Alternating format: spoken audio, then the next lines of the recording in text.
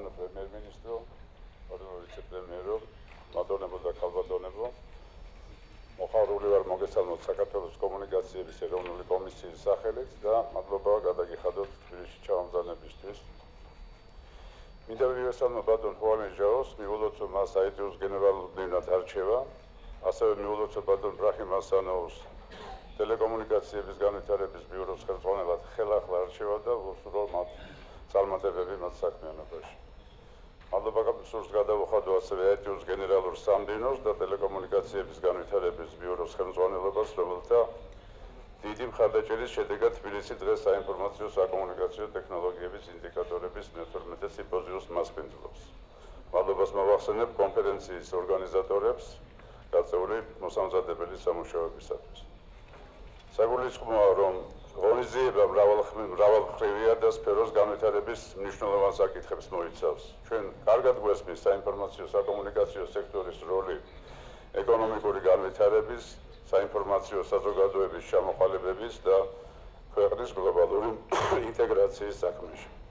შესაბამისად, საქართველოს ცდილობს გაითავისოს სოფლიო მასშტაბით ტელეკომუნიკაციების სფეროში მიმდინარე ტენდენციები და საერთაშორისო საუკეთესო პრაქტიკაზე დაყნობით სწორად წარმართოს დარგის განვითარება.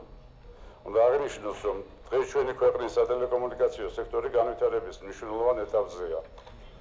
კერძოდ, აქტიური მუშაობა მიმდინარეობს ციფრულ მოუწყებლობაზე მიგრაციასთან დაკავშირებით, რომელიც ვინდოუნებს წარმატებით დასრულდება 2015 წლის ზაფხულში.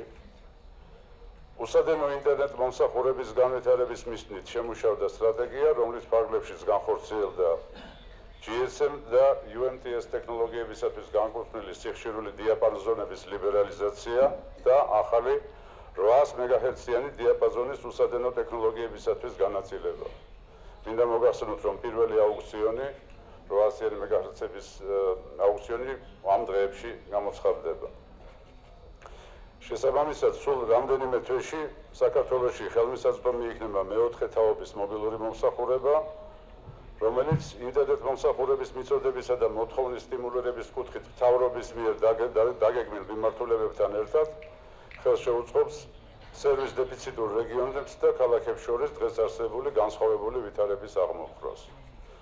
და ბოლოს კიდევ ერთხელ გათილი იყოს თქვენი ჩამოგზანება გისურვებთ წარმატებულ და წარმატებულ და ნაყოფიერ საქმიანობას. იმედოვნებ, რომ სამუშაო შეხვედრების შემდგომ თქვენ გექნება შესაძლებლობა გაეცნოთ ჩვენი ქვეყნის ისტორიასა და კულტურას. დიდი მადლობა ყურადღებისთვის.